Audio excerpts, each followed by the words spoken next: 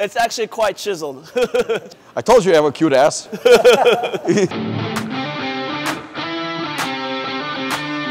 Apollon was, it started as a brand to cater to this environment, to this gym. A hardcore gym with chains, with power lifters, with athletes. And I noticed with a lot of brands, they start off good, they have something good going on, Yes. and then all of a sudden they rebrand and change everything about the brand. Right. Our market is our market. We, we, we have to stay where we are Yeah. and we have to stick to what we are doing because I don't think there is any other way.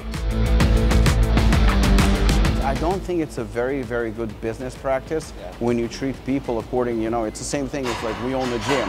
If somebody pulls up in a Porsche and he's going to get preferential treatment from me than somebody driving in a Honda or something like that, it shouldn't be that way. I think that that's the problem with the industry where they literally, not all, I mean, you guys, I've never had that issue. I can Yeah. co- contact Louis anytime. Yeah. And I even told my team, I said, I got an email from Luis, and he said he's visiting Universal, he's visiting NutraBio. Both companies are significantly bigger than Apollon, and he's visiting us.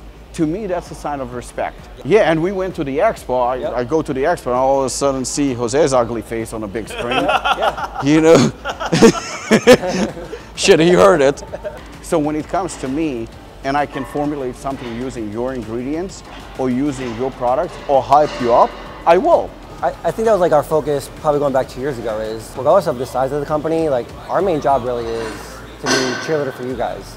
Like you, you literally, regardless of how big the order is or how small it is, you're contributing to, at the end of the day, our livelihoods. It just goes to show that, you know, there is no such thing as a small customer. A small brand can win brand of the year. Yep. Again, we use pretty much majority of your ingredients in our in our products. Well, number one, they're good, and number two, it's because of the partnership that we built throughout the years. So for us, it's a huge honor. It is. And if somebody celebrates with us our win and supports us, Yep. then likewise we're going to do the same. Yeah.